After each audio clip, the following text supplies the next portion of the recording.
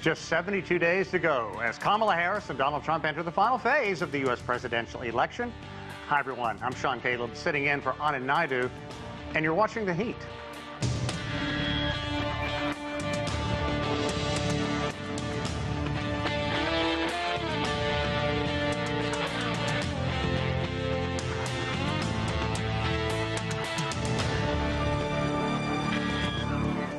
Running for the U.S. presidency is neither easy nor inexpensive. Consider this. According to official data between January of 2023 and July 31st of this year, the Biden, now Harris campaign has raised nearly $517 million, while Trump's campaign took in about $269 million. By all accounts, this election is very close, especially in seven battleground states whose ballots could very likely determine who wins. And that's where both campaigns will be laser focused in the coming days as they begin the final sprint for the White House. Now, for more on this, we turn to CGTN's Poppy Umputing in our newsroom. So, Poppy, just two and a half months out until the election, but early voting starts next month in some states. What can we expect from both campaigns in these last few weeks? Well, Sean, uh, as mentioned, less than uh, three months to go until the election means that both campaigns need to be supercharged in terms of targeting potential voters. Of course, there are those battleground states that the Trump campaign and the Harris campaign will really want to target, especially in terms of those voters who are undecided, uh, because there are a lot of votes up for grabs. Now, of course, the Harris Walz campaign is hitting the ground running. Momentum has been very high since the Democratic National Convention that closed out last week. In just that time, $82 million raised, according to Harris Walz campaign. And uh, on top of that, a surge of volunteer support. So Harris doing pretty uh, well in terms of connecting with voters, but she still has a case to make, of course, to the American people now that she is sitting atop the presidential ticket. Uh, this week, with that in mind, heading to Georgia, a critical battleground state. The south of Georgia is where Tim Walz and Kamala Harris uh, will be traveling through, concluding with a rally on Thursday in Savannah. A reminder to our viewers that the state of Georgia was won by Biden in 2020 by fewer than 12,000 votes. So really uh, a critical state there uh, to gain traction in. For the Trump, Trump Vance campaign, they also have work to do and are getting out to those battleground states uh, this week. Uh, Trump and uh, Vance heading to Michigan, uh, Pennsylvania, Wisconsin. These are key states which currently Harris is leading Trump when it comes to the latest polls. So there is a lot of work to be done there.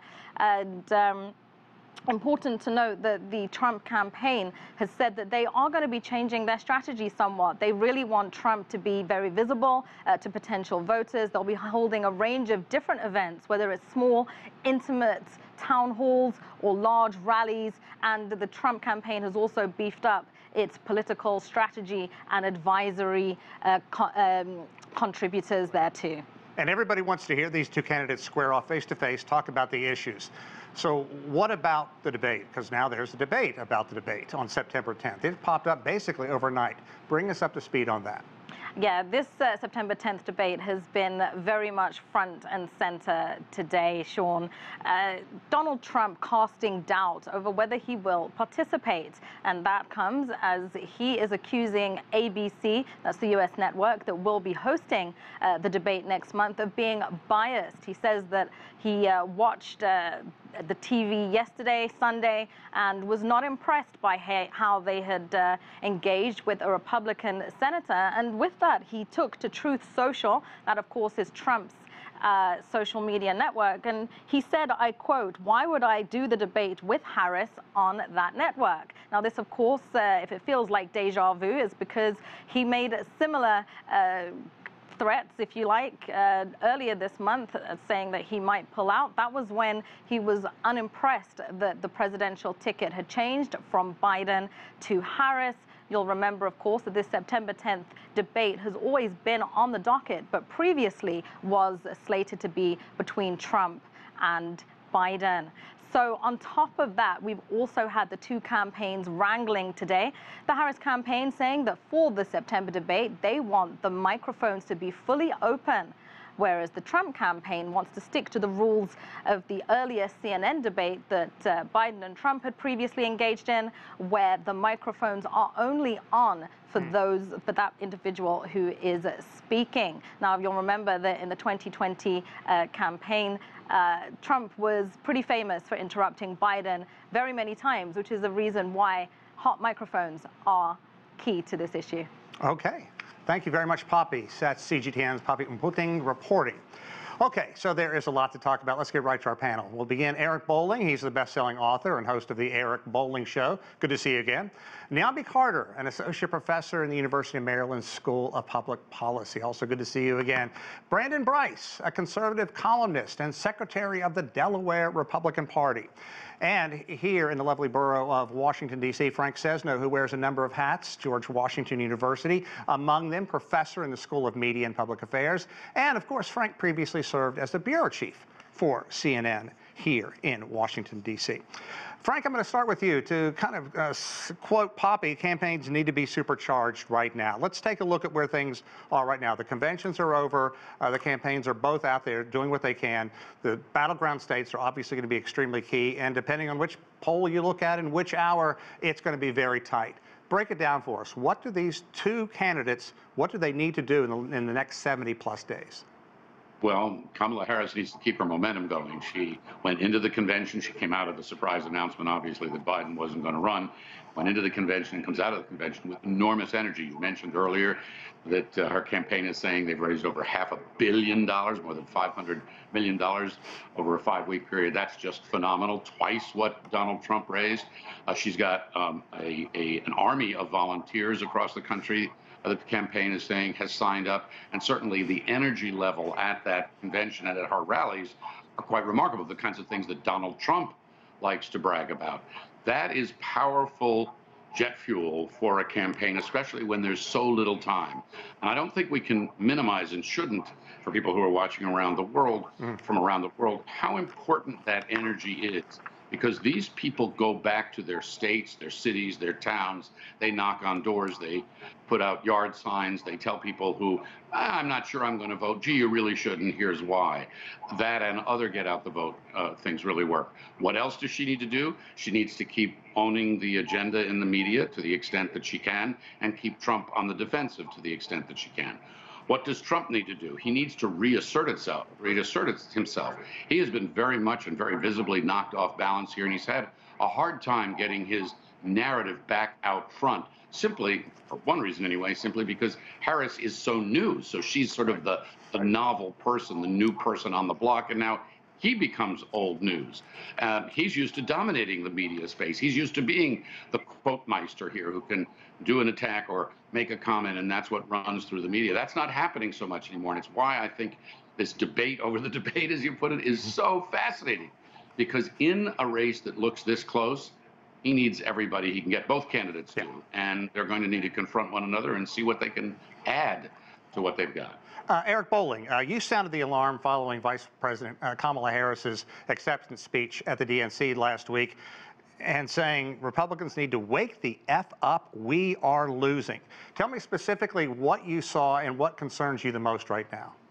I saw everything Frank just just mentioned. I saw half a billion dollars being raised. I, thought, saw an enthusiasm level that I haven't seen on the Democrat side for you know even prior to the 2020 election. There, that, there was no enthusiasm for for Joe Biden in 2020. They, he was the guy who had the best chance of beating Trump. But and I also saw a reinvention of Kamala Harris. And then most importantly, and the reason why I said wake the f up is because it seemed like the Trump camp was allowing all this to go on. And, and, and I said, you got to stop. In fact, today I called into the Trump senior top advisors to the campaign. I said, What the hell are you guys doing?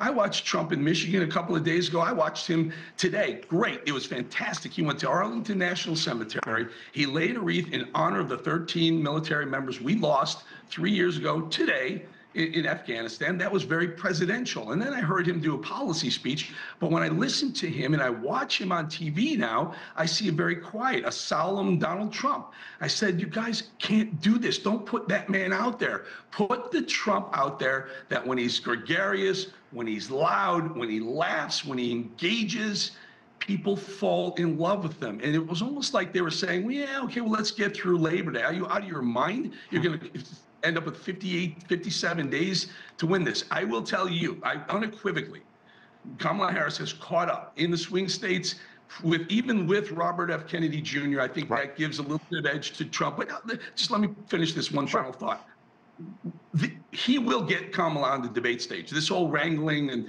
that he's poking her and she's poking him, it's only to see if he can get her to do two debates. Because, as I said, if you listen today on the, on, on the uh, Eric Bolling show, get him getting her on that debate stage, he will win. It doesn't matter if it's ABC, if George Stephanopoulos used to work for for uh, the Clintons. It doesn't matter if Jon Karl and and whomever else is asking the questions. They're wildly biased to Kamala Harris, much like the setup and a lot of people I'm listening to tonight are it doesn't matter. Donald Trump is Mike Tyson in his heyday. Gets him, gets her in the ring, he knocks her out. Okay, but uh, let's go back to a bit about what you're talking about Trump. Uh, get him out there saying what he wants to say. Uh, his staff has been trying to keep him on point, focus on the issues. But Trump is a guy who loves to talk about crowd sizes. He loves to talk about who's better looking. He loves to talk about TV ratings. And if you look at the crowd sizes Harris is getting, and if you look at the ratings the last night of the DNC, are the Democrats being successful at putting Trump in a box? They are. They're they're they they landed a punch, so to speak. I'll use the boxing analogy again. They landed a punch. They didn't knock him out, but he certainly staggered. I don't think he saw that coming. But don't forget, you're still talking about the guy who can make anyone laugh. He's the guy who says outrageous things, and and the people who hate him are going to go, oh, he's disgusting, and the people who, who just go, wow, here's a New York billionaire who was president who says the things that I'm thinking. Mm. That's the Trump that will get the people back on his side. It's not too late.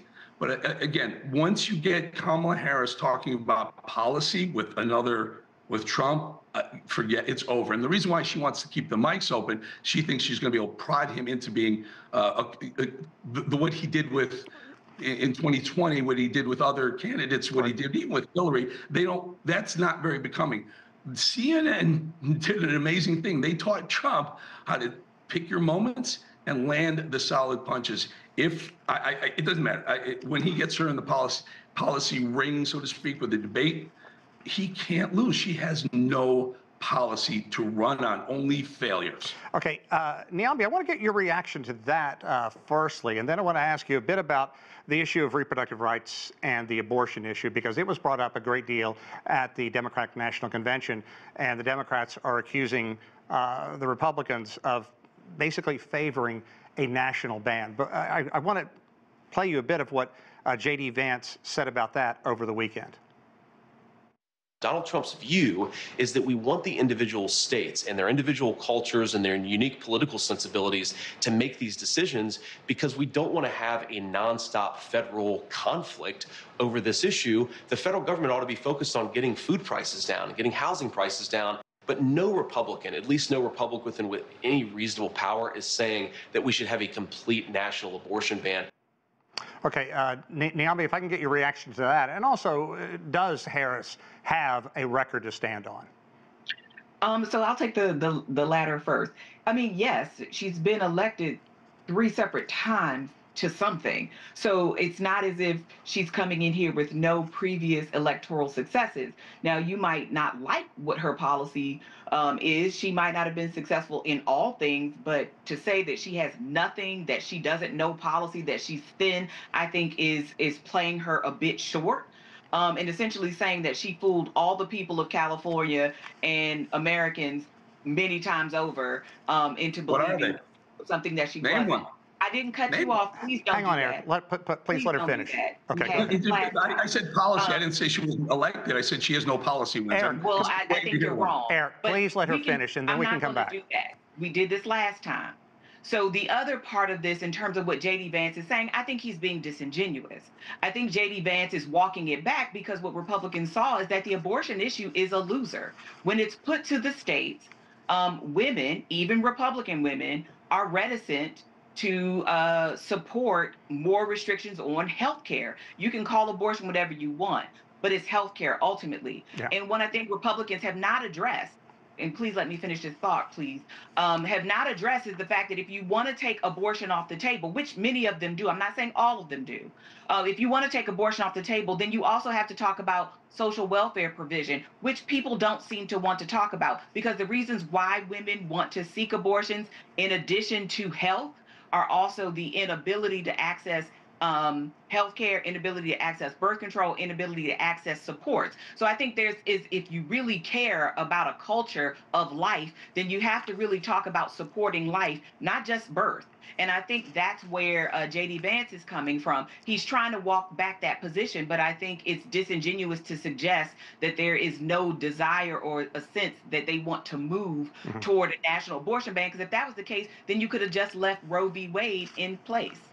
Um, uh, Brandon, both candidates are getting advice on how to operate their campaigns as we head into this uh, final stretch. And as we mentioned, Trump's team has basically said, stay on the issues, avoid the uh, personal attacks. I want to play you uh, just a bit of what Jennifer Lawless had to say. She is a political science professor mm-hmm. at the University of Virginia. I think Donald Trump has to do a couple of things. The first is he needs a debate performance that highlights that he's disciplined and able to stick to the issues. The other thing that Donald Trump needs to do is make a case for a second term when his first term led to a lot of the problems that Joe Biden inherited. And also, he needs to make the case that electing Donald Trump is not moving backward, it's also moving forward. That was a lot easier to do when he was running against an incumbent president. Kamala Harris has turned the page and she's running as her own candidate, and she's not running as for a second term of the Biden administration. Well, Brandon, I thank you for your patience. Uh, let, let, me get you uh, to respond to that. Well, first of all, let's look at this. Three months ago, no one was even talking about Kamala Harris because the reality Kamala. is she had yeah. no record, and, and we knew that. Now, all of a sudden, she's the greatest thing since sliced bread. I think that's disingenuous. The other piece to that, one thing I will agree that this professor did say is Donald Trump, you know, when you look at it, if I had to give him some advice, I would say stay on the issues and be quiet the problem is that there's been many statements that have been made where people are saying, wait a minute, you know, that reminds me of the issue that we had in his first presidency. The flip side to that, though, when you look at Kamala Harris, I think it is a danger in her campaign not to do uh, uh, uh, interviews and, and, and, and, and, and actually run towards the interviews. We're talking about less than 72 days until the election. And the reality is, many Americans, whether they like her or not, whether the Obamas are backing her, they don't know who she is. And the reality is, when you look at high inflation, conflicts across the country, people are saying, you know what? Even though the DNC convention had all these celebrities, which we knew, Hollywood was all up in there, but the reality is we don't know her. We didn't really know any of her accomplishments as the vice president, and this is this election is too close to support or vote in a candidate that, quite frankly, we still don't know what she stands for. I would say, you know, she's got to she's got to run to the press. I think Donald Trump has to get focused on a few issues, and the most important thing, he's got to convince independent and women voters that he is better than the incumbent vice president. If he can't, it could be a very different conversation in November. Okay. Um, Frank, I, I think a lot of Democrats are worried about some kind of scenario where the Trump camp could say, okay, let's flip a coin. Tails, I win. Heads, I sue, or we do it again. Uh, look at what happened to the, the Republican National Committee. Uh, he's basically gone in there cleaned house. Uh, his daughter-in-law is now has a very powerful position there, and the RNC has already filed a number of lawsuits challenging voting rules. Now, the Democrats too are also gearing up, mobilizing a ro robust legal team, especially in a state like Georgia, which razor-thin uh, margin made it uh, in the last election. Okay, so talk about that, the efforts to lay the groundwork and the concerns that if Trump loses again, he digs in his heels again and we have a protracted legal fight at best and something that spills over into violence at worst. Well, yes. you know, that is exactly the situation that we're seeing, or the danger, the risk. You know, what, uh, what Donald Trump is doing is, and his campaign is doing, is raising questions and, and trying to get people onto state election committees and that kind of thing to look at every move that might be made that might raise concerns and then raise those questions and have a have a, an outcome. Georgia is the key uh, place right now where people are looking at this. But I think you know this narrative is very well established, and what's what's what's been happening uh, is that Donald Trump has activated his team. So have the Democrats, by the way. The Democrats have lawyered up, and no one should. They're not going to be doing not necessarily the same things in terms of accusing the outcome of being fraudulent, but if they don't like it, I'm sure we'll be hearing from them too.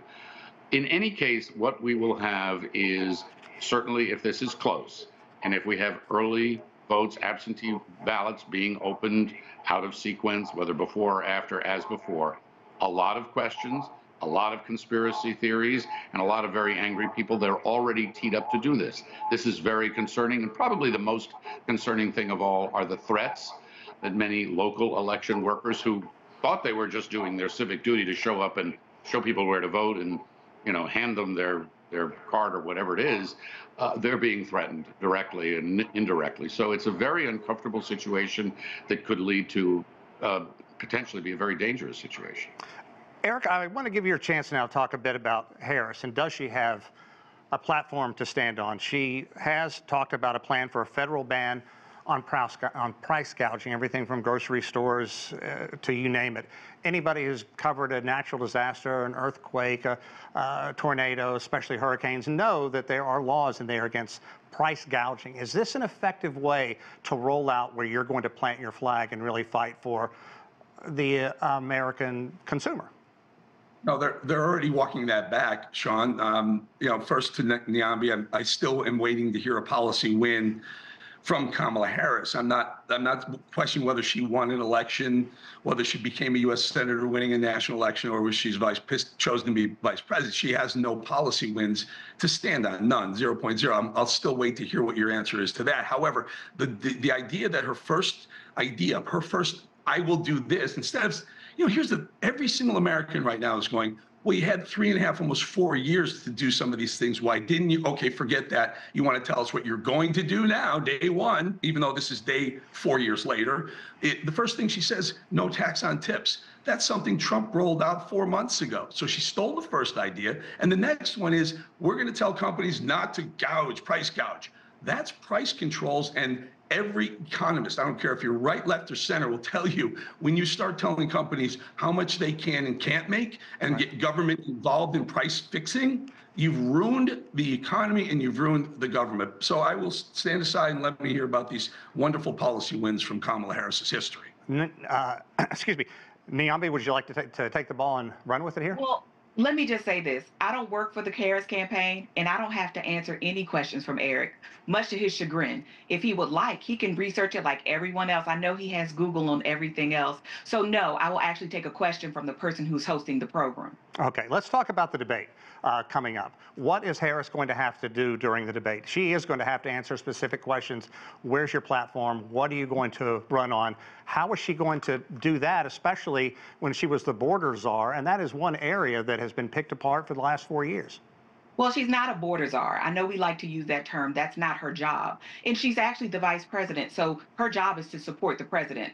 If anybody else here can tell me what the policy wins of previous vice presidents, I would like to hear them because no one said the word Mike Pence yet. But that said, I think what she's going to have to do is definitely tell us how she's going to be different than Donald Trump. But more importantly, she's going to have to make it clear that what she's offering is going to be something different than Joe Biden. I think one of the criticisms that she's gotten is that this just seems like Biden part two. How is she going to be different? How is she separate from him. And so I think for her, her debate performance, she can't get rattled because unlike my colleagues, I can say a couple of nice things about Donald Trump, which is he actually is good on the debate stage when he's focused and when he's disciplined. So one of the things she has to contend with the fact that he is not a politician. He is a showman. And so to do that, she can't just say, you know, policy, policy, policy, right. and he gets all the, the notable quotables, right? She actually has to be thinking about her showmanship in the same way that she's thinking about policy and all of that. So she's going to actually have to show that she's different from Joe Biden, and she's going to actually show that Donald Trump won't rattle her because he will. He will try, and he's done it before. He is very good. Uh, uh, um, much people like to deny it. Brandon, pick up on that. How important is this debate? And we know that Trump staff has been working with him on the best way to approach Kamala Harris. This debate is extremely important because this debate, let's be very clear, most people at this point know if they're going to vote for Trump, most Republicans know they're going to vote for Trump, most Democrats know they're going to vote for Kamala. This is for independent voters. And, you know, the one thing I will say is the reality is that, you know, with Kamala Harris, you know, she's kind of there's nothing really great about her outside the fact she's the vice president. There's nothing, you know, that's I mean, Donald Trump, he's a showman. He's funny. People like being on stage. I think I agree with my colleague, ironically, that for Donald, for, you know, if you're Donald Trump, you've got to hit the issues mm-hmm. and you've got to convince women and independent voters why they need to go with you. If you're Kamala Harris, you've got to separate yourself, in my opinion, from the Biden administration to say, listen, as the vice president, that job is to protect the president's interest. It's my show now. It's my time. If she cannot convince people on the first debate, uh, I think Trump will get it. Trump has name ID. People know who he is, and at the end of the day, uh, the fact that there was a you know reference that right. the vice president was running away from the press, was not getting aggressive about getting in the media and telling her plan, who she is, what she plans to do. I think it'll hurt the Kamala campaign in in, in November. Uh, uh and uh, Niambi, we have time for one more question here. I want to talk about today the 104th anniversary of women gaining the right to vote. And at the Democratic National Convention, uh, a number of women wearing white to honor the suffragette movement. Uh, I want to play you just a bit about what Patrice Marshall McKenzie, one of the delegates, had to say about this important date. I think that we're going to see a shift in leadership for women. We're going to see black women be seen as leaders and not just laborers. We're going to see doors open for women to lead in all kind of places that they had not been able to lead before, had not been open to lead, had not had the courage to lead. And I just see opportunity for policy change. You're going to see a diversity of voices in different rooms than they have been before. Okay, your thoughts on that? How important would that be to really open up a lot of doors that haven't been opened?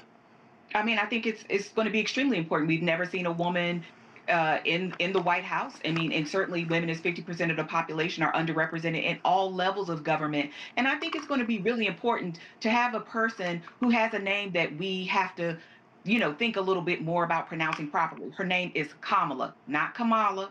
It's Kamala, and I think that kind of um, exercise in in thinking about other people and those other people being women is is a really important thing for our nation and for the young women yeah. regardless of your your policy preferences or your your uh, political leanings to see and to strive for Okay, I want to thank you very much. We are out of time. Uh, enjoyed the conversation. That's it for this edition of The Heat. I'm Sean Callebs in Washington, D.C. As always, thanks for watching, everyone.